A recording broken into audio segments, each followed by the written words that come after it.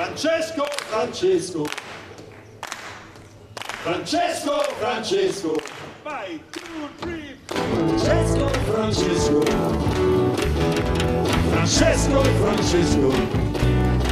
E mi chiamo Giovanni, Giovanni Fidanza, da questa mia stanza io non esco mai, ho quasi sei anni e un padre dottore che non sa curare il male che ho. Mia madre ti ha visto e un voto ti ha fatto e tu mi hai guarito stringendomi a te. Così nel convento sarei diventato una buona avventura per i frati tuoi. Francesco, Francesco,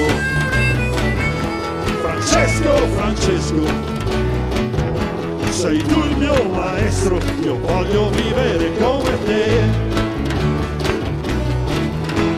Da secolare studiare a Parigi filosofia all'università. E poi dopo entrare tra i frati minori facendo convivere sapienza e umiltà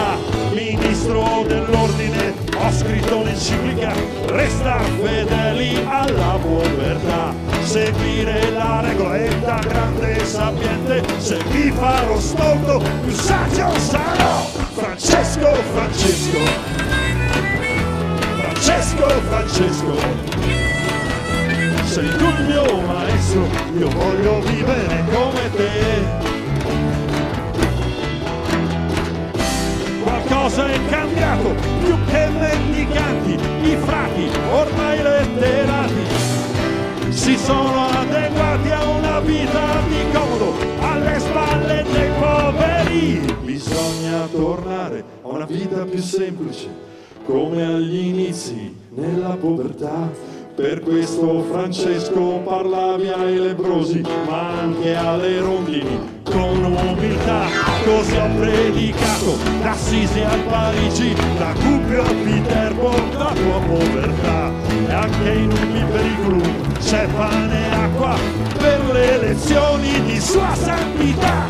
Francesco, Francesco, Francesco, Francesco sei tu il mio maestro, io voglio vivere come te. Francesco, Francesco, Francesco, Francesco, ho scelto il tuo esempio, io voglio vivere come te. Io voglio vivere come te. Io voglio vivere come te. Ok, grazie. Silvio Ciapica, Fausto Ciapica, Roberto Pecci, Enrico Ciapica, una rivelazione clamorosa. Papa Francesco di cognome fa Ciapica pure lui, e non ve lo volevo dire tutti insieme, ma avevamo deciso oggi di renderlo pubblico.